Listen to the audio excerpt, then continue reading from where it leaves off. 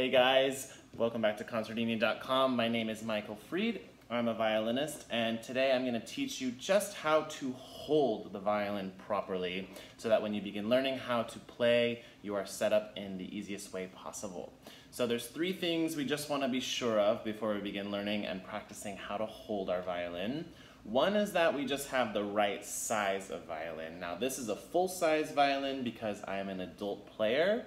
If you are maybe around younger than the age of 10, you might want to look for a three-quarter size violin, and any younger than that, a professional uh, specialty violin shop will set you up with the right size. It goes down to a quarter size generally, but there are violins even smaller than that for little baby musicians.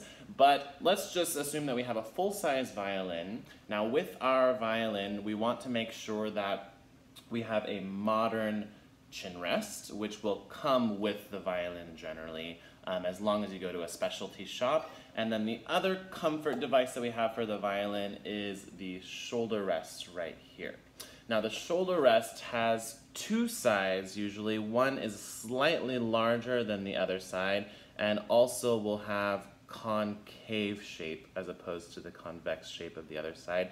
Now this larger side is going to go right underneath our chin rest so I just hold the smaller end, hook the top onto the rib, and slide on the bottom.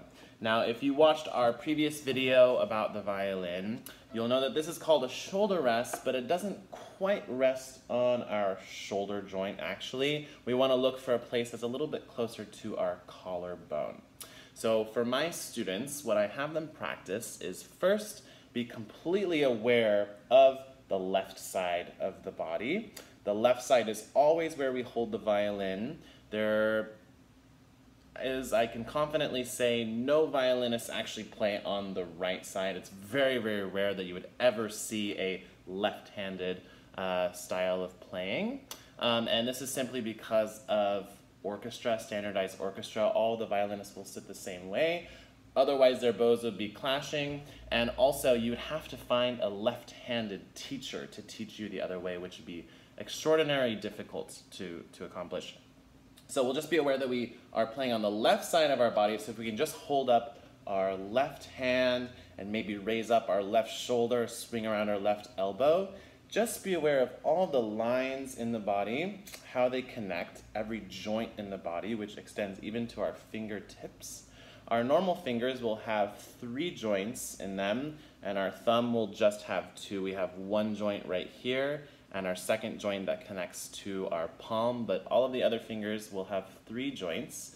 So the very bottom um, of your first finger, let's call it the first joint, right here, you might want to make a mark with some sort of utensil just right there on the first joint. And then with our thumb, not the first joint, but the second joint, the middle joint right here, which when we close, they should meet up. So this line right here of my thumb should meet up with the bottom of my forefinger. This is where the neck of our violin is going to end up resting. So we don't actually want to grip the violin all the way in the crevice of the thumb and the first finger. We do want a little bit of support from our thumb underneath, so that's why it's the middle joint of the thumb that's going to make contact with the violin.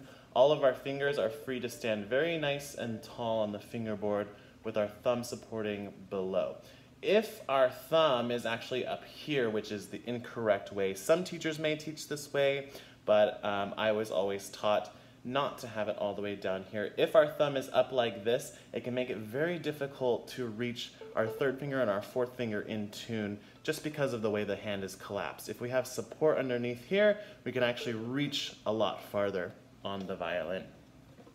So we're just going to hold our violin with our two little markings right here at the very base of the neck. Notice I have some space behind my thumb.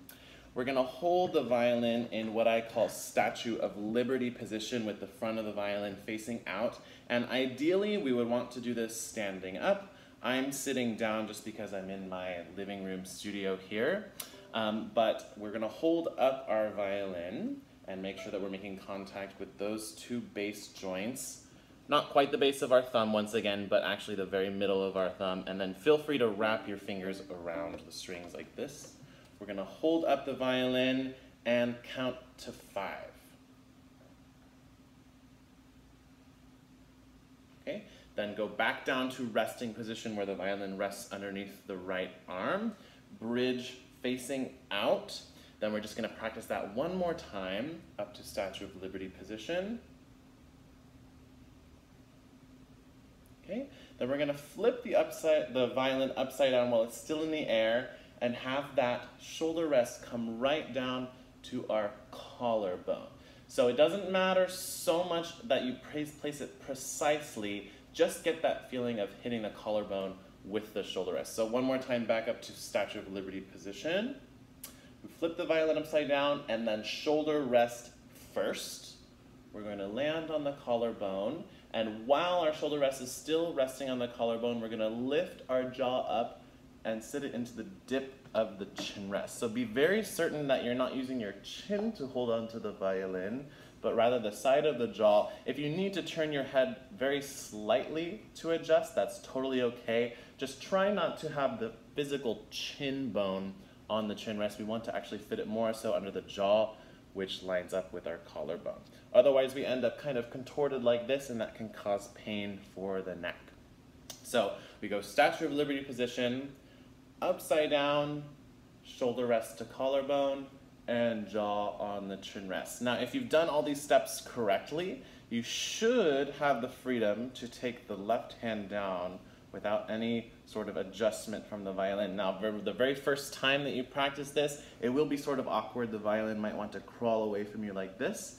Be sure that there is no space left in between the violin and the neck, just like so.